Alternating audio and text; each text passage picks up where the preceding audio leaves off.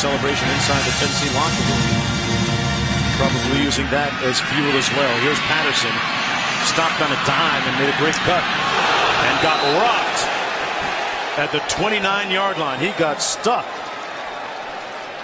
by Kerry Spear. That's the kicker.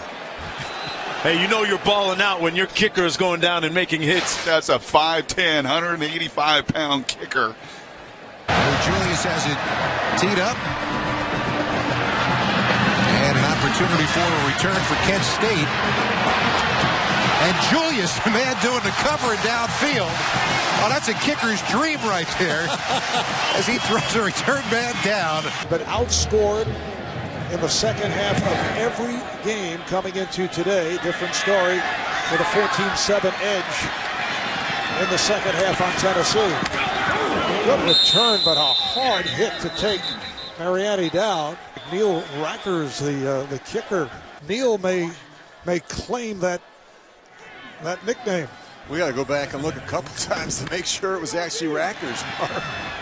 You don't see kickers stick their head in there like that. That's a pretty good form tack. I think it caught Mariani.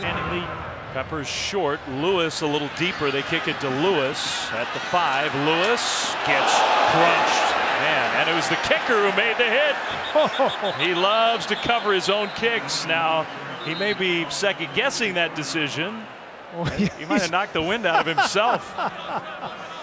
5'10", 260 pounds, and he runs down fast on kickoffs. Here comes number nine. Look at him. That's the kicker. Oh, jeez. I'm not going to let this guy run me over. Well, he went around him.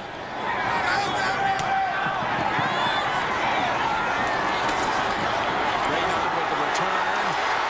Gets to the outside. Look at Lower the shoulder. There is a flag back at the 28. Kickoff. Here comes Holiday trying to make things right. But how about the punter, Pat McAfee? Brought that thing. Oh, uh, kicker's leg. wow. Take that. Now, is he going to get fined for helmet to helmet? Oh, no. He's no, going to get no, no, a, you know, That was a runner. That... Except the penalty.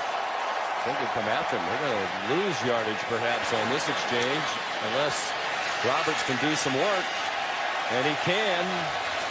Oh, the punter, Jones, oh, smoked him at the 30-yard line. My goodness. Wow.